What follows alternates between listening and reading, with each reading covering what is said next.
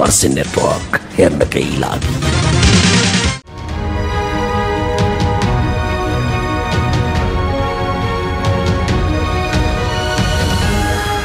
Hershey नेटवर्कको of गफमा स्वागत छ।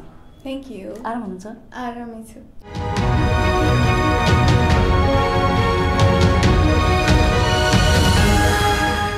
शिल्पा पोखरेलले आफ्नो स्वभावलाई एक लाइनमा कसरी डिफाइन गर्नुहुन्छ? आफ्नो स्वभावलाई म अलिक छिट्टै रिसाउँछु होइन?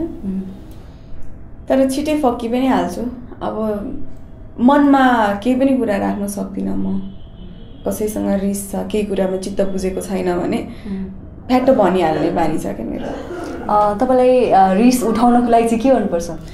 रिस उठाउनको लागि मलाई त्यो एउटा क्वेसन दसचोटि सोधेको मन पर्दैन। Oh. होइन साँच्ची भनेको अब त्यो अब मैले पनि केही कुरा सम्झाएँ भने त्यो एकचोटि दुईचोटिमा सम्झेन भने चाहिँ दसचोटि भन्नलाई अब अहिले फुर्सद पनि छैन होइन? त्यो भएर चाहिँ बारम्बार सम्झाइराख्नु पऱ्यो भने चाहिँ रिस उठ्छ क्या मलाई। अब फकाउनको लागि चाहिँ के गर्नुपर्छ त? फकाउनलाई केही गर्नु पर्दैन। अब रिस उठेको मान्छे चुप लाएर बस्थ्यो भने म आफै फकिन्छु। हाँस्न थालिहाल्छु आफै।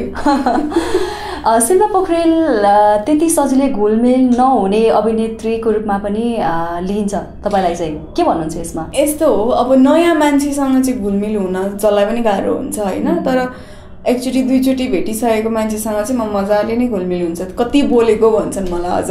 माई गड घुलमिल हुन गाह्रो भइसकेपछि चाहिँ? गाह्रो गाह्रो त गाह्रो होइन होइन? सुरुमा चाहिँ अलिक अप्ठ्यारो लाग्छ नि त। नयाँ नयाँ मान्छेसँग। शिल्पा पोखरेलको सिने उद्योगमा खासै त्यस्तो अभिनेत्रीसँग मित्रता देखिँदैन नि।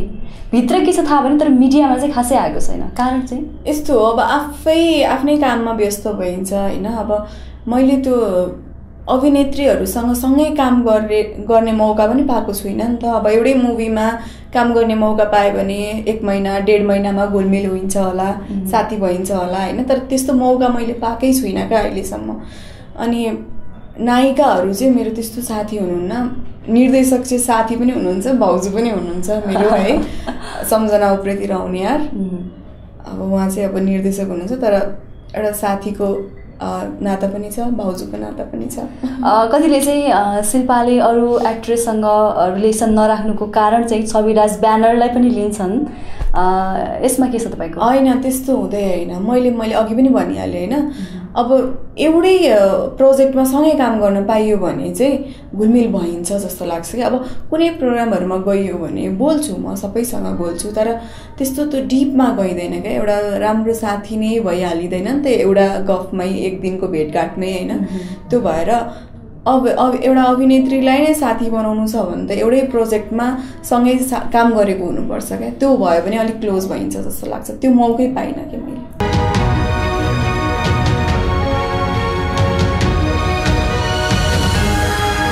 अ, तपाईँलाई सिनेमामा स्थापित सेलिब्रेटी मध्ये कोसँग चाहिँ काम गर्न मन छ?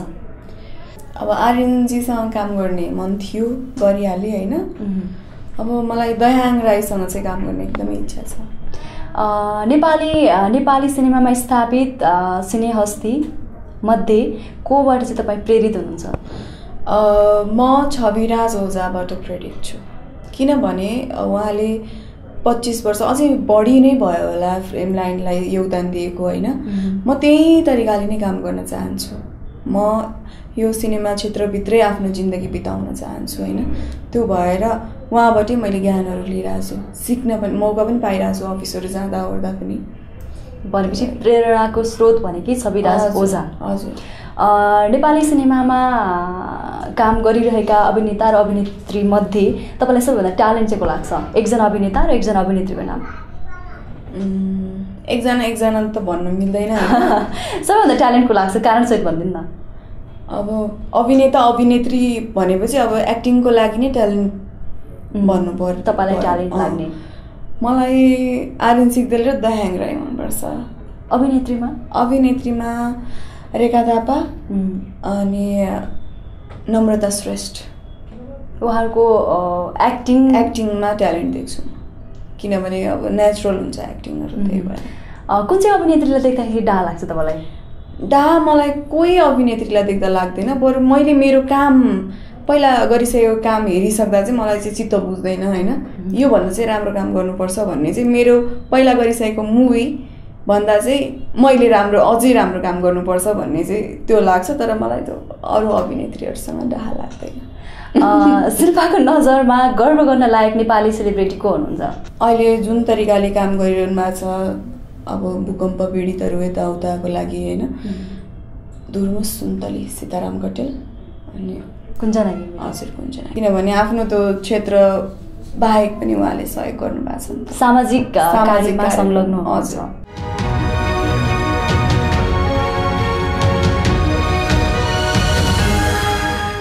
दिनको सुरुवात चाहिँ के खाएर हुन्छ तपाईँको? दिनको सुरुवात तातो पानी मात्र? तातो पानी ग्रिन टी खान्छु बिहान चाहिँ होइन खाली पेटमा।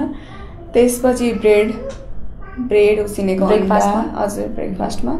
त्यसपछि लन्च त अब हाम्रो नेपालीहरूको त्यही दाल भात तरकारी नै हुन्छ। अनि दिउँसो खाजामा चाहिँ अब त्यो अहिले चाहिँ अब त्यो मतलब यो प्रमोसनको बेलामा चाहिँ कुनै दिन भोको पनि बस्नुपर्छ। किनभने कहिले कता कहिले कता दौडिरहेको बेलामा त्यो मैले खाएको छु कि छुइनँ भनेर पनि बिर्सिँदो रहेछ क्या भोक लाग्दैन। भोकलाई भोक भोकै लाग्दैन। अब कतिखेर पुग्ने भन्ने हुन्छ त्यो हतार हतार हुन्छ होइन? त्यो भएर अनि साँझ चाहिँ कन्फ्लेक्स दुध सुत्नुभन्दा अगाडि। कतिको फुडी हुनुहुन्छ तपाईँ? फुडी त म एकदमै फुडी थिएँ होइन. अहिले चाहिँ अब अर्को मुभीमा चाहिँ एकदम टिनेजर देखिनु पर्ने छ। त्यो कारणले गर्दा अहिले चाहिँ एकदम कन्ट्रोल गरिरहेको छु। अहिले कन्ट्रोल गर्नुभएको छ? पहिला चाहिँ म फुडी नै हो। मलाई जे पनि मनपर्छ। एउटा एक्ट्रेसको हिसाबले खानपिनमा कन्ट्रोल गर्नुपर्छ मैले फिगर मेन्टेन गर्नुपर्छ भन्ने हिसाबले खानुहुन्छ या होइन खाइरहनु होइन? म कुचुर कुचुर चाहिँ खाइरहन्छु। त्यो एकैचोटि चाहिँ खाँदिनँ होइन? अब दुब्लाउन एकदम गाह्रो हुन्छ होइन। मलाई भन्दा कसलाई बेसी थाहा होला र त्यही भएर त्यो भोलि फेरि अर्को फिल्म आयो भने मलाई गाह्रो हुन्छ भन्ने तरिकाले खान्छु। एकैचोटि चाहिँ त्यसरी खाँदिनँ। भान्सामा कतिको काम गर्नुहुन्छ? काम गर्छु। के पकाउन आउँछ तपाईँलाई? एकदमै मिठो गरी। मिठो सबैले मिठो भन्ने चाहिँ खसीको मासु बनाउँछु म। त्यो खसीको मासु चाहिँ अब मलाई अरूले बनाएको भन्दा पनि आफैले बनाएको मनपर्छ र घरमा पनि सबैले मन पराइदिनुहुन्छ। तपाईँलाई मनपर्ने खानेकुरा चाहिँ के हो? मनपर्ने खानेकुरा मलाई सिम्पल अब सुटिङको खाना खाँदा खाँदा होइन बाहिर खाना खाँदा खाँदा मलाई घरमै बनेको मम्मीले पकाएको दाल भात तरकारी अचार।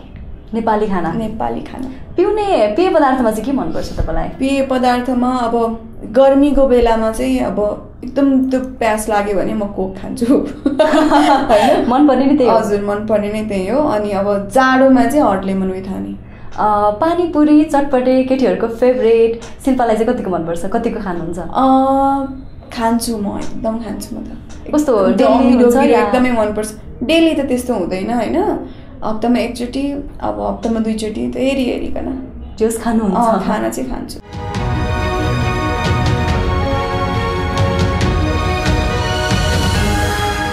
अहिलेसम्म सिनेमामा लागेर के उपलब्धि हासिल गरे जस्तो लाग्छ तपाईँलाई? दर्शकहरूको माया। मात्र। त्यो बाहेक के चाहियो। होइन दर्शकहरूले जति माया गरिदिनुहुन्छ त्यति फिल्म चल्छ र मैले अर्को मुभीमा पनि काम पाउँछु। सबैभन्दा ठुलो त दर्शकै माया भयो नि त होइन? एकदमै बाटी हुनुहुन्छ। अब चाहिँ के बाँकी छ जस्तो लाग्छ? सिनेमामा अझै के उपलब्धि हासिल गर्नु छ जस्तो लाग्छ तपाईँलाई? मलाई अब हिफाजत टूदेखि मैले निर्मात्री भएर आउँदैछु होइन? फिफ्टी पर्सेन्ट लगानी लाउँदैछु भनेपछि अब अभिनेत्री मात्रै भएर होइन एउटा निर्मात्री भएर पनि म सफल हुन चाहन्छु। अब भविष्यमा त्यो चाहिँ होस् भन्ने चाहना। चाहना छ तपाईँको है। जीवनमा पाउनुभएको विशेष उपहार छ कुनै? बिर्सनै नसक्ने? उपहार भनेपछि त्यसलाई उपहार भन्ने कि अब एउटा यस्तो छ। मेरो ड्याडीले खासै अब नाचगान गरेको यताउता मन पराइसिन थियो होइन? मैले खासै सपोर्ट पनि पाएको थिइनँ ड्याडीबाट चाहिँ। मैले मम्मीलाई भनेर सुटुक्क सुटुक्क गर्थेँ होइन? जे गरे पनि। स्टार्टिङमा? हजुर म्युजिक भिडियो गर्दासम्म पनि मैले ड्याडीलाई भनेको थिइनँ। त्यसपछि कहाँबाट थाहा पाउनु भएछ अनि तैँले गर्न थालेको भनेर? अब अँ त भन्नै पऱ्यो होइन। अँ। त्यतिखेर मलाई सबैभन्दा ठुलो गिफ्ट चाहिँ मलाई के लाग्यो भने ड्याडीले त यसैमा गर्न सक्ने रहेछस्। मलाई त कन्फिडेन्ट थिएन मेरो छोरीले यतिसम्म गर्न सक्छ भनेर। त घर हामी साथ दिन्छौँ भनेर भनौँ मेरो लागि ठुलो गिफ्ट भयो क्या मलाई त्यो चाहिँ। अहिले पनि त्यो पच्चिससम्म पनि मलाई याद हुन्छ होला। ड्याडीको सपोर्ट जीवनको सबैभन्दा। ठुलो उपहार। ड्याडीको सपोर्ट नै ठुलो उपहार हो मेरो लागि। जीवनको एउटा विशेष उपलब्धि चाहिँ के हो त तपाईँको? यही हो अब मैले चाहेको फिल्डमा आएँ। होइन? आएर अब आएर बिलाउनु परेको छैन। होइन? गुमनाम हुनु परेको छैन सबैले मन पराइदिनु मन पराइदिइराख्नु भएको छ। आज मेरो अब छवटा मुभी गरेँ चारवटा रिलिज भयो सबैले मन पराइदिनु हिट भयो होइन? त्यही नै मेरो लागि ठुलो उपलब्धि हो। छवि राज ओझासँगको सहकार्यले चाहिँ के दियो जस्तो लाग्छ? के दियो भन्दा पनि एउटा साहस दियो जस्तो लाग्छ मलाई।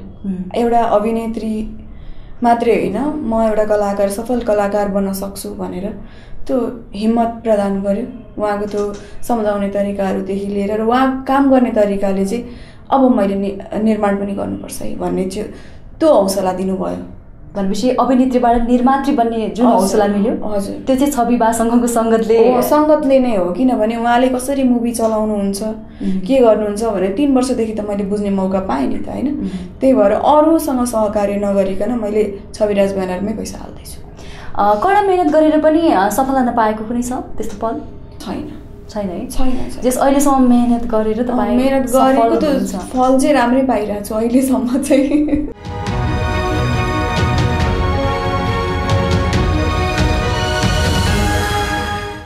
एकदमै मन परेको ठाउँ जहाँ तपाईँ जान चाहेर पनि जान सक्नु भएको छैन आजसम्म।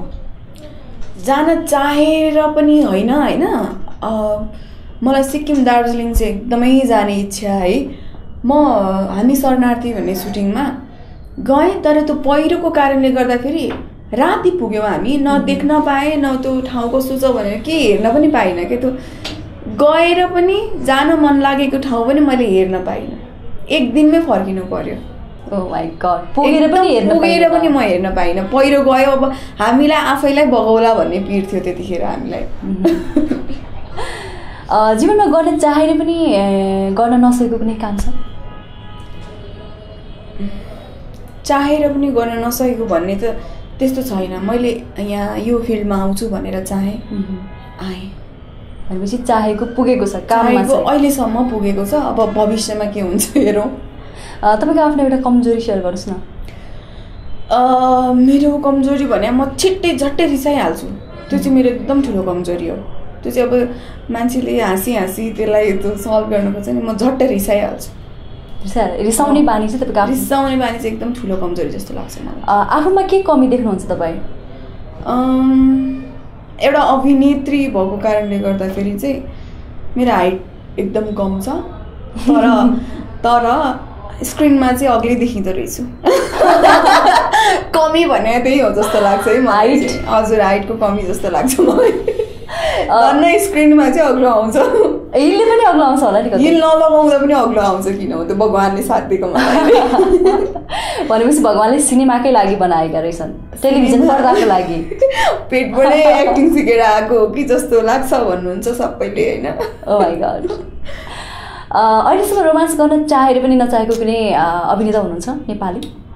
On screen on screen के? स्क्रिनमा। स्क्रिनमा। चाहेर पनि त्यस्तो हुनुहुन्न। मलाई अब सुरुमै आर्यन सिग्देल भनेपछि मेरो फेभरेट एक्टर होइन। उहाँसँग काम गर्ने इच्छा थियो त्यो सुरुमै फर्स्ट मुभीमै त्यो पुरा भयो। त्यो भएर यस्तो उस्तो भन्ने छैन अहिले चाहिँ। डेब्यू सिनेमामा नै आफूले मनपर्ने अभिनेतासँग काम गर्न हजुर। पाउनुभयो। तपाईँको सपना पुरा भयो त्यति सपना बेला पुरा भयो र अन स्क्रिन रोमान्स गर्न पाएँ। त्यसैमा भनौँ तर अब अरू कलाकारहरूसँग नयाँ नयाँ अब पुरानै कलाकारहरूसँग काम गर्ने मौका पाएँ भने त त्यो त मेरो लागि भाग्यकै कुरा हो। फर्स्ट नेटवर्कको अफ गफको लागि टाइम दिनुभयो त्यसको लागि thank you so much thank you so much of गफमा हामी फेरि पनि फरक सेलिब्रेटका साथ उपस्थित हुनेछौँ। Keep watching First Network